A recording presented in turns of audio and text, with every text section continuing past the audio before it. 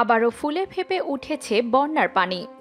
আগামী দুই দিনের মধ্যে আবারও তলিয়ে যেতে পারে দেশের দশটিরও বেশি জেলা। এরই মাঝে বন্যায় সিলেটে দুইশো একুশ কিলোমিটার সড়কের ব্যাপক ক্ষয়ক্ষতি, ক্ষতি প্রায় তিনশো কোটি টাকা।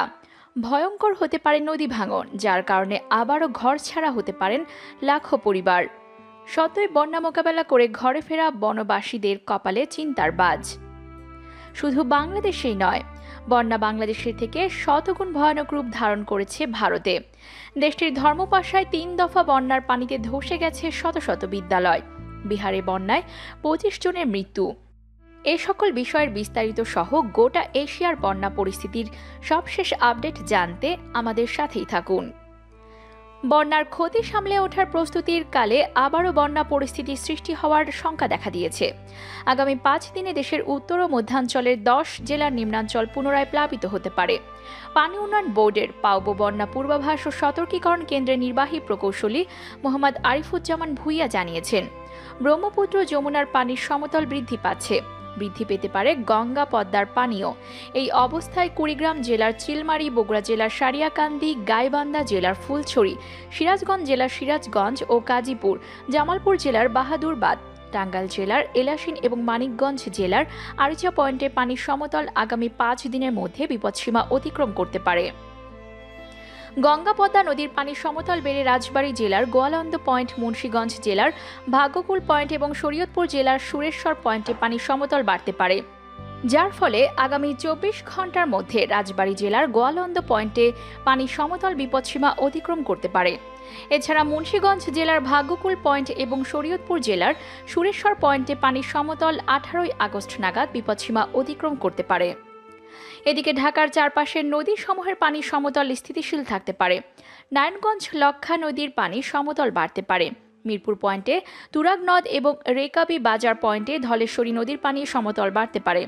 চলতি সপ্তাহে ঢাকার নিম্নাঞ্চলে বন্যা হওয়ার সম্ভাবনা রয়েছে। এবার জুনের শেষে স্বল্পমেয়াদে এবং জুলাইয়ের প্রথম ভাগে মধ্যমেয়াদের বন্যা পরিস্থিতি সৃষ্টি হয়। সেই প্রভাব এখনও আছে। এখনও দুটি নদীর পানি দুটি স্থানে বিপদসীমার উপর দিয়ে প্রবাহিত হচ্ছে। আবহাওয়া অফিস বলছে বৃষ্টিপাত বাড়বে। ভারতের আসাম মেঘালয়েও বৃষ্টিপাত বাড়ছে। যে কারণে দেশের অভ্যন্তরে নদ নদীগুলোর পানির উচ্চতাও বেড়ে যাওয়ার আশঙ্কা করা হচ্ছে। তিন দফা বন্যায় সিলেটের পাঁচশো একুশ কিলোমিটার সড়ক ক্ষতিগ্রস্ত হয়েছে। এর মধ্যে সিলেটের নয়টি উপজেলার সবচেয়ে বেশি সড়কপথ ক্ষতিগ্রস্ত। সিলেটের ওসমানীনগর, ফেঞ্চুগঞ্জ, বালাগঞ্জ ও বিশ্বনাথ এলাকা কম রাস্তা ক্ষতিগ্রস্ত হয়েছে বলে এলজিইডি সূত্র জানিয়েছে। আর সবচেয়ে বেশি ক্ষতিগ্রস্ত হয়েছে সীমান্তবর্তী গোয়াইনঘাট, কোম্পানিগঞ্জ, কানাইঘাট, জৈন্তাপুরের রাস্তা। ক্ষতির পরিমাণ দুশো কোটি টাকা। সিলেটে তৃতীয় দফা বন্যার পানিও নেমে গেছে দিন পনেরো আগে। তবে গ্রামীণ ও আঞ্চলিক সড়কগুলোর বন্যা রেখে গেছে তার ভয়াবহতার ছাপ। ক্ষতিগ্রস্ত হয়েছে বেশ কয়েকটি সেতু ও সেতুর সংযোগ সড়ক। আধা পাকা ও ব্রিক সলিং রাস্তাগুলোতে ব্যাপক ক্ষয়ক্ষতির পাশাপাশি জলের তোরে ধসে গেছে অনেক সড়ক নিশানা হারিয়েছে। প্রথম দুই দফা বন্যায় কানাইঘাট, গোয়ানঘাট ও গোপালগঞ্জের গ্রামীণ সড়কগুলোতে ক্ষতির পরিমাণ বেশি থাকলেও তৃতীয় দফা বন্যা শেষে তা ছড়িয়ে পড়েছে সিলেটের প্রায় নয় উপজেলায়। এতে মানুষের ভোগান্তির শেষ নেই। এলজিইডি সিলেটের তথ্য অনুযায়ী দিন দুয়েকের ব্যবধান রেখে সিলেটের টানা তিন দফা বন্যায় ক্ষতিগ্রস্ত হয়েছে পাঁচশো একুশ কিলোমিটার সড়ক, যেখানে ক্ষতির পরিমাণ প্রায় দুইশো ষাট কোটি টাকা। এলজিইডি সিলেটের নির্বাহী প্রকৌশলী মোহাম্মদ আব্দুল লতিফ মানব জমিনকে জানিয়েছেন, প্রথম দফায় বন্যা হওয়ার পর আমরা একটি তালিকা তৈরি করে প্রধান প্রকৌশলী বরাবর পাঠিয়েছি।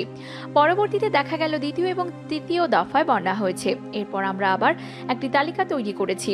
আমাদের তালিকা অনুযায়ী সিলেট জেলায় মোট পাঁচশো একুশ কিলোমিটার সড়ক বন্যায় ক্ষতিগ্রস্ত হয়েছে।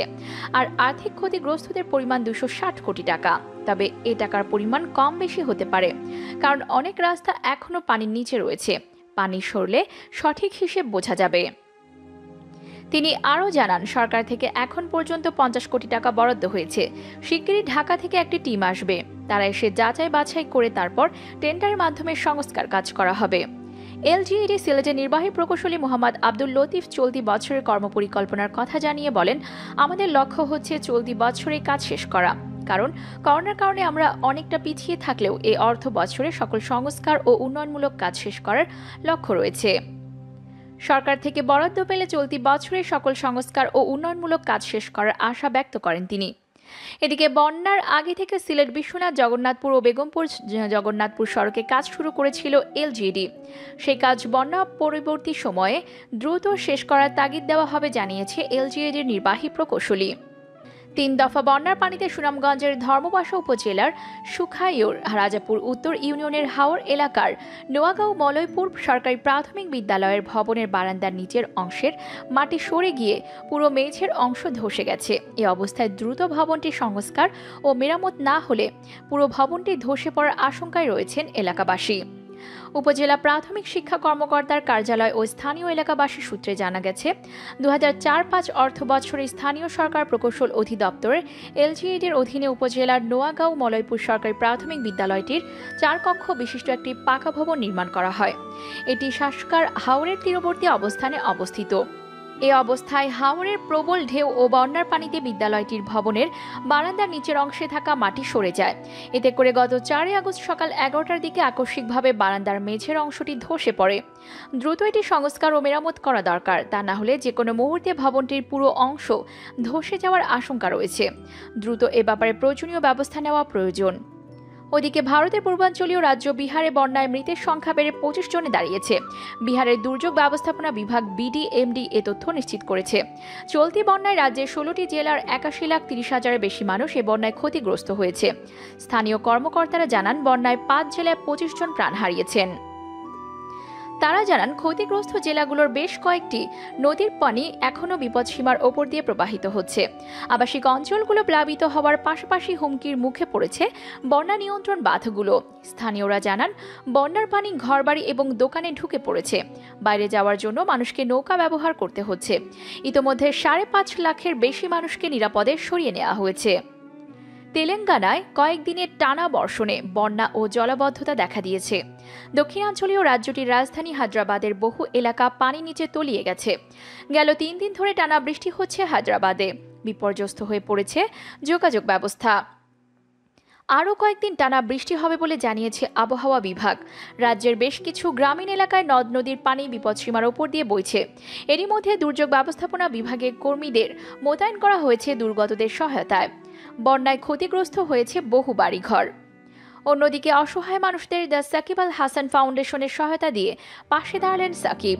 সাকিব আল হাসান ফাউন্ডেশনের অর্থায়নে র্যাব বারো এর অধিনায়ক লেফটেন্যান্ট কর্নেল খায়রুল ইসলামের তত্ত্বাবধানে বগুড়ার সারিয়াকান্দি উপজেলার ঘুঘুমারি ইউনিয়নের বন্যার্ত অসহায় মানুষের মাঝে ত্রাণ বিতরণ করা হয়।